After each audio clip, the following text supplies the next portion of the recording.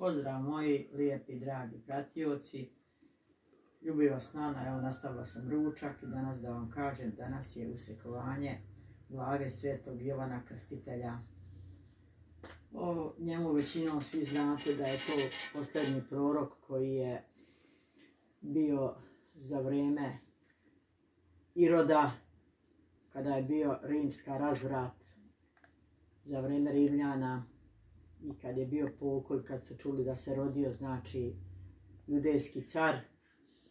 Međutim, Jovan, Jovan je, znate da je bio rođak ovaj, Isusov, nije mogao to, znači, društvo da trpi, bio je jako oštro jezik, znači, što mu je smetalo, uvijek je rekao.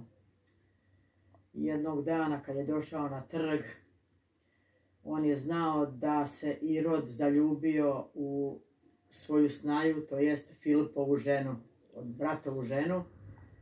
To se Jovanu nije svidio i on je javno na trgu rekao da je griota uzimati bratovu ženu. I sad Irod je se bojao Jovana, jer znao je da je Jovan pravedan i da govori sve što je pravedno. On je teo preko toga i da pređe, ali šta se desi, Irodijada, to jest žena, nije mogla da podnese to šta je on rekao, pošto je se već zaljubila normalno u cara glavnog judeje Iroda. I smišljala je dugo kako da se osvijeti Jovanu, ali Irod je bio opet milostiv, rekao je slugama ovaj, svojim, zatvorite ga, pa ga kradom pustite. Jovana, plašio je se Irod Jovana. On je bio crni oči, oštar, nosio delo od kamilije dlake, znači u pustinji je živo, ali dolazio znači na govor. Kad je se govor ko, koji sada održavao, on je javno znači stupio održavanje.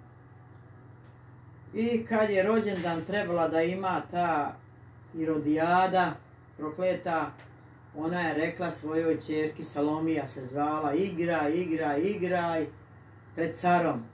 Irod je posmatrao njeno, znači igranje, uvijanje, kao čim da te nagradim, rekao je za takvu igru.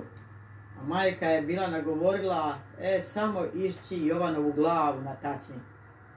I ona je tako i zatražila, Jovanovu glavu. Međutim, šta će se desiti? Dželati su otišli, jer car kad nešto obeća, mora da ispuni. Nije mu bilo povolji što to tako morao. Malo je se dvomislio, ali je morao da uradi radi profete njegove žene.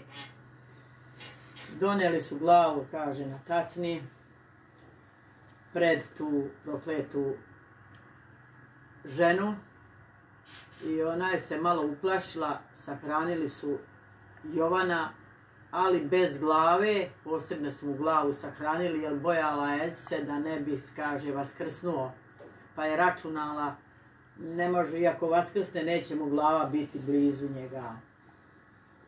Tako da je Jovana svetog glava više puta, znači, premeštana Eto, Nana vam je objasnila šta smo mi ljudi prokleti. Ako ti kaže istinu, znači seci u glavu. A to je Jovan pravedno i rekao, nije lepo da se uzima bratova žena. A eto, vidite šta da vam kažem. Ja sam vam ispričala što sam znala.